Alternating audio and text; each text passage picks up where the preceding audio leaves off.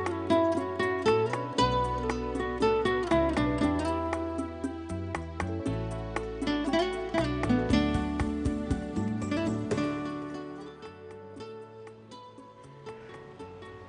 بسم الله والحمد لله والصلاة والسلام على رسول الله مشاهدينا الكرام. في كل مكان أهلا وسهلا بكم. صباح جديد وصباح جميل. نتمناه مشرق دائما لكل الناس اللي بتتابعنا عبر شاشة الشروق وصباح الأمطار والأجواء الجميلة الخريفية اللي بتنعشنا وتدعشنا وتدينا إحساس جميل بالحياة. ونحن كل يوم بنصحى بإحساس جميل لكن إحساس الصباح قد يكون مختلف. صباح الخير يا حمزة وصباح الاختلاف. صباحك طيب يا انسام نحن الشعب السوداني طبعا بعد التحية للمشاهدين. أجمل الحاجات ممكن تخلق لنا جو جميل يعني بالذات الأمطار. مطرة واحدة بتعدل المزاج. بالضبط كده. أتمنى إن الصباح ده يكون زاهي وأنظر لكل المشاهدين. آه صباح نجدد فيه الولاء والانتماء للوطن السودان.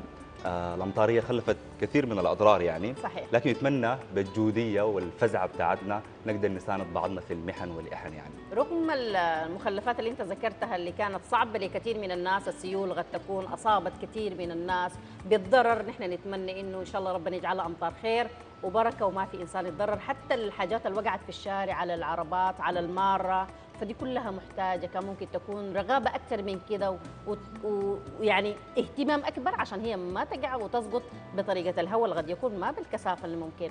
نحن بنقول الناس تاخذ الحيطة والحذر وفي ثقافة في الفترة الأخيرة أصبحت يعني الناس ملمة بأوضاع الطقس والمناخ وكذا. فالثقافة دي انتشرت ومع انتشار الثقافة دي بنحاول إنه نقول دائما نزرع السلام بيناتنا وكثير من الشعارات نحن هي ما رنانه بس.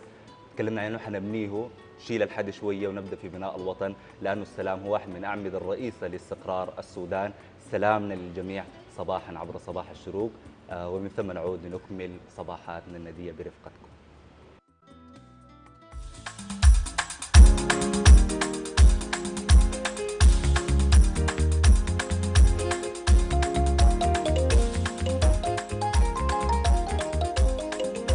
تعالوا نقعدوا تحت شدراي نسوي جودية نسل شوكاي.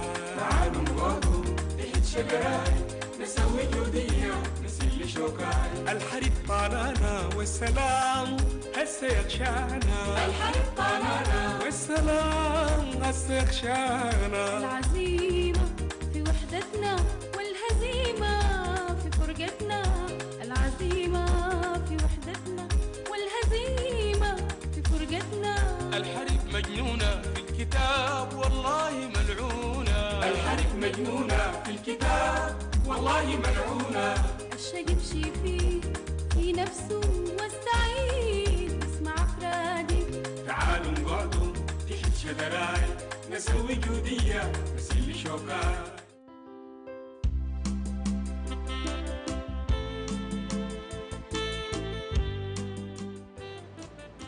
صباح سلام المحبة والجمال لكل متابعينا. ونحن إذا اتفقنا واتحدنا السودان بيشيلنا وبنعيش في سلام وفي أمان. وفي أخوة ومحبة يعني نحن بيناتنا في محبة قوية جدا. لما نسمع الصراعات والمشاكل الحاصلة الآن والحريق اللي نحن شفناه لبعض من قرى السودان في عدم وجود السلام فبتبقى كارثة ومشكلة بالنسبة لنا عكس اللي نحن شايفينه يا حمزة. مؤسف إنه نشوف في احتراب قبلي بيناتنا نحن كشعب نعم. سوداني في الفترة الأخيرة. بننشد السلام عبر صباح الشروق إنه السلام يعم كل أرجاء الوطن السودان عشان يكون في عملية استقرار مستدام بالنسبة للسودان فالسلام هو أساس وركيزة أساسية لاستقرار وتنمية البلد.